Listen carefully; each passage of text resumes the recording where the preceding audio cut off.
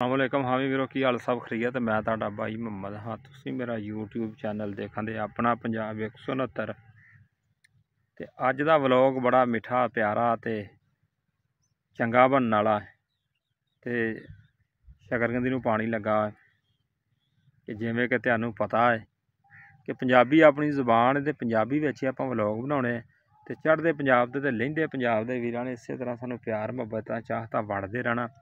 ਤੇ ਆਪਾਂ ਤੁਹਾਨੂੰ ਰੌਣਕ ਮੇਲੇ ਵਿਖਾਉਂਦੇ ਰਹਿਣਾ ਵਾ। ਤੇ ਇਹ ਤੁਸੀਂ ਚੈੱਕ ਕਰੋ, ਮਾਹੌਲ ਚੈੱਕ ਕਰੋ, ਖੂਬਸੂਰਤੀ ਚੈੱਕ ਕਰੋ।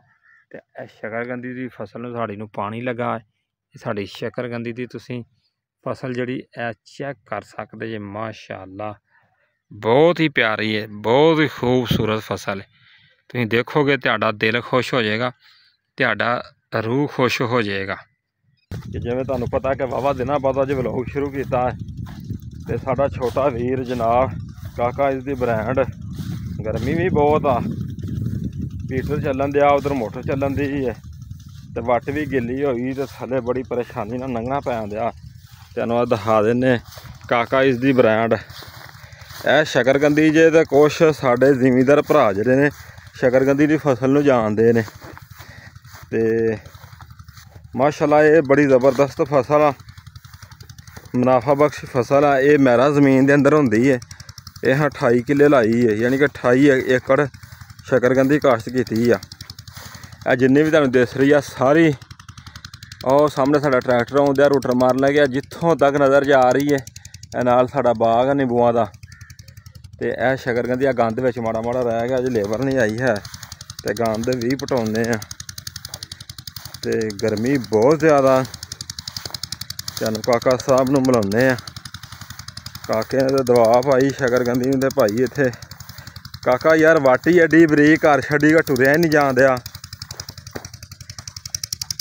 ਕਿਉਂ ਕਾਕਾ ਇਸ ਦੀ ਬ੍ਰਾਂਡ? ਵੇਖੋ ਤੁਸੀਂ। ਏਸੀ ਨਾਲੋਂ ਵਧੀਆ ਛਾਂ ਦੇ ਥੱਲੇ ਜਵਾਨ ਸੁਤਾ ਹੈ? ਵੇਖੋ ਸਹੀ ਤੁਸੀਂ। ਮੌਜ ਤੇ ਭਾਈ ਇਹਦੀ ਲੱਗੀ ਜੇ ਨਾ।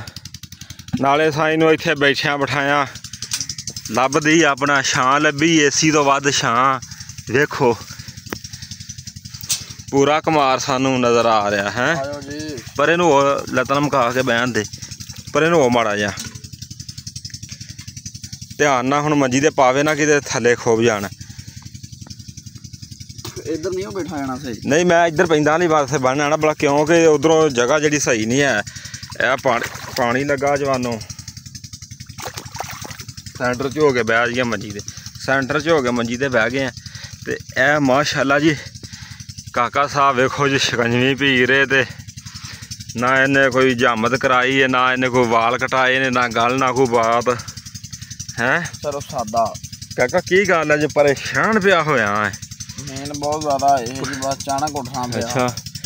ਭੁੱਖ ਨੇ ਮਾਰਿਆ ਕਿ ਦੁੱਖ ਨੇ ਮਾਰਿਆ? ਨਾ ਭੁੱਖ ਨੇ ਨਾ ਦੁੱਖ ਨੇ। ਤੇ ਇਹ ਇੰਨੀ ਸੰਘਣੀ ਸਾਡੀ ਟਾਲੀ ਹੈ ਨਾ ਇਹਦੇ ਥੱਲੇ ਬੰਦਾ ਬੈਠਾ ਹੋਵੇ ਤੇ ਬਾਹਰੋਂ ਨਜ਼ਰ ਕੋਈ ਨਹੀਂ ਆਉਂਦਾ ਹੈਗਾ। ਤੇ ਇਹਦੇ ਥੱਲੇ ਬਹਿ ਕੇ ਬਾਹਰੋਂ ਸਾਰਾ ਕੁਝ ਨਜ਼ਰ ਆਉਂਦਿਆ ਤੇ ਉਹ ਸਾਹਮਣੇ ਹੁਣ ਸਾਡਾ ਟਰੈਕਟਰ ਵੀ ਆ ਗਿਆ। ਤੁਹਾਨੂੰ ਦਿਖਾਉਨੇ ਥੋੜੀ ਜਿਹਾ ਸਾਫ਼ ਕਰਕੇ ਲੰਘਣ ਲੱਗਾ ਜੇ। ਹਾਂਜੀ। ਤੇ ਉਹ ਪੈਲੀ ਵਾਉਣ ਲੱਗੇ ਨੇ। ਤੇ ਉਹ ਟਰੈਕਟਰ ਸਾਡਾ ਲੰਘਣ ਦੇ ਆ ਜਦੋਂ ਬਾਬਾ ਦੇਰ ਦਾ ਭਰ ਪਚਾਸੀ। ਗਿਆ ਨਾ ਮੈਨੂੰ ਆ- ਅੱਖ ਲੱਗ ਗਈ ਮੇਰੀ। ਨਹੀਂ ਤੇ ਹੁਣ ਰੋਟਰ ਕਿਹਨੂੰ ਮਾਰਨਾ ਵਾ? ਅੱਛਾ ਉਹ ਮਾਰਨਾ ਸੰਦੇ ਵਾਲੀ ਗਾਲੀ ਨੇ। ਹਰੋਣ ਤੈਨੂੰ ਬੁਖਾਰ ਚੜਿਆ ਤੂੰ ਨਾ ਪਰੇਸ਼ਾਨ ਹੋ। ਆਇਆ ਨਾਲੇ ਦਵਾ ਦਾ ਧੁੱਪੇ ਨਾ ਖਲੋ। ਤੇ ਸੱਜਣੋ ਤੇ ਮਿੱਤਰੋ ਇਸੇ ਤਰ੍ਹਾਂ ਹੀ ਤੁਹਾਨੂੰ ਆਪਣਾ ਵਲੌਗ ਵਿਖਾਉਂਦੇ ਰਵਾਂਗੇ ਮੁਹੱਬਤਾਂ ਵੰਡਦੇ ਰਵਾਂਗੇ। ਤੇ ਜਿੰਨੇ ਸਾਡੇ ਯਾਰ ਭਰਾ ਨੇ ਲਾਈਕ ਤੇ ਸਬਸਕ੍ਰਾਈਬ ਕਰ ਦਿਓ ਚੜ੍ਹਦੇ ਪੰਜਾਬ ਵਾਲੇ ਲਹਿੰਦੇ ਪੰਜਾਬ ਵਾਲੇ। ਤੇ